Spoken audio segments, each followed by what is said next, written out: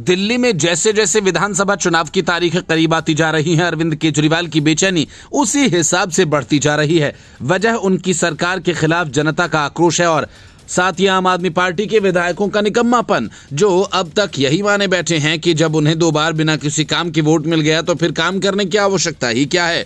लेकिन विधायकों की यही सोच अब पूरी पार्टी पर भारी पड़ती दिख रही है। अरविंद केजरीवाल इस वक्त दोहरी चुनौती का सामना कर रहे हैं। पहला तो ये कि शराब घोटाले का उन पर लगा दाग साफ़ नहीं हो पा रहा और दूसरा उनकी पार्टी के मंत्रियों और विधायकों का परफॉर्मेंस आतिशी सरकार में शामिल ज़्यादातर मंत्रियों की हालत अपने इलाकों में बेहद खराब है और सूत्रों का कहना है कि केजरीवाल अपने दो दर्जन से अधिक विधायकों के कामकाज से बेहद नाराज़, क्योंकि पार्टी के आंतरिक सर्वे में ये बात साफ़ तौर पर उभर आई है कि अगर उन्हें फिर से टिकट दिया गया तो पार्टी की लुटिया डूबनी तय है और यही वजह है कि केजरीवाल अब विधायकों और मंत्रियों पर भरोसा करने की जगह कार्यकर्ताओं से सीधे बात कर रहे हैं। इन सब के बीच ऐसा लग रहा है कि कहीं न कहीं अरविंद केजरीवाल इस विधानसभा चुनाव में नए चेहरों को प्राथमिकता दे सकते हैं। संकेत बड़े पैमाने पर विधायकों के टिकट कटने के भी हैं, लेकिन इन सब के साथ एक बड़ा खतरा पार्टी में विद्रोह का भी है। टिकट कटने की हालत में विधायक दूसरी पार्टी का रुख कर सकते हैं, और अगर ऐसा हुआ तो फिर आम आदमी पार्टी का कबाड़ा हो जाएगा, इसलिए केजरीवाल फूक फूंक कर कदम आगे बढ़ा रहे हैं।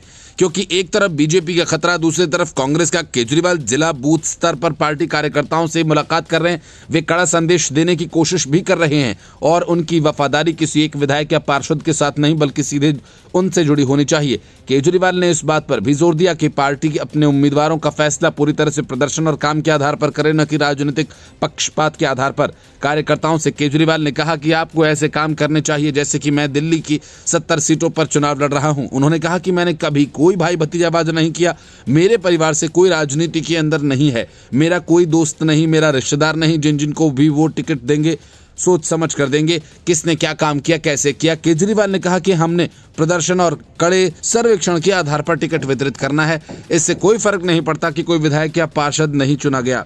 आपकी निष्ठा मेरे साथ होनी चाहिए, क्योंकि मैं सभी सीटों पर आपके सामने हूँ।